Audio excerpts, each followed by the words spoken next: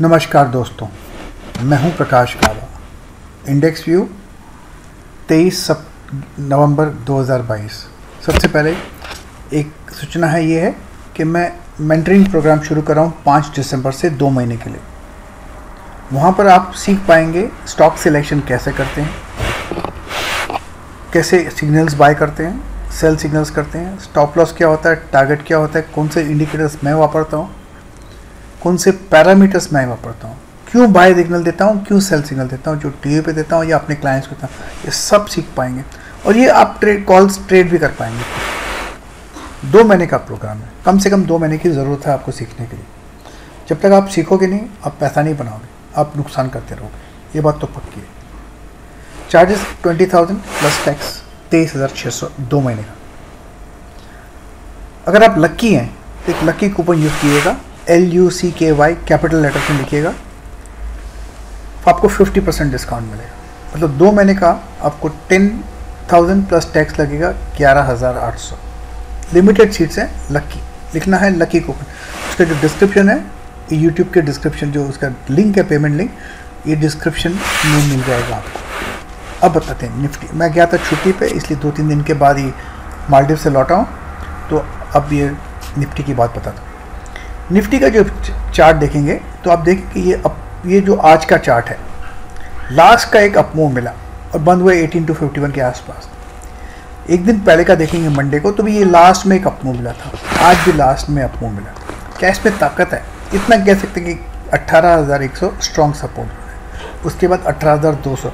अठारह हज़ार दो सौ ये क्रूशल सपोर्ट है। ये ब्रीच नहीं होना चाहिए। अगर ये ब्रीच होगा तो लोअर लेवल्स अठारह हज़ार भी देख पाएँगे। ये पॉसिबिलिटी है। लेकिन अठारह एक स्ट्रॉन्ग सपोर्ट जोन है। यहाँ से क्या ये ऊपर जा सकता है? बिल्कुल जा सकता है। अठारह और अठारह ये एक पॉसिबिलिटी है।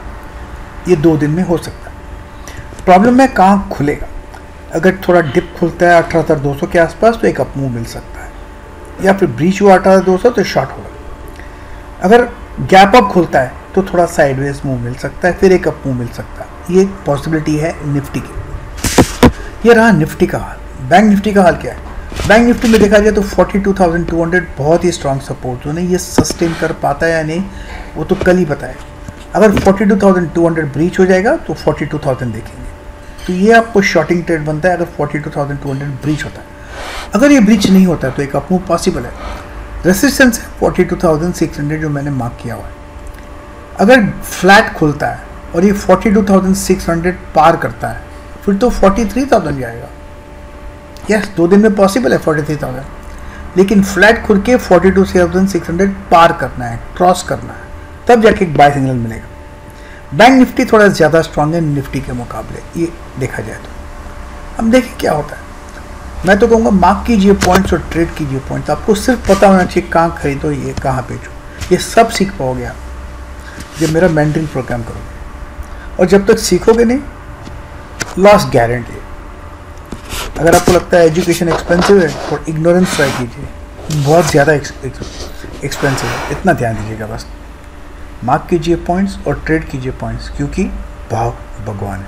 Happy trading enjoy the ride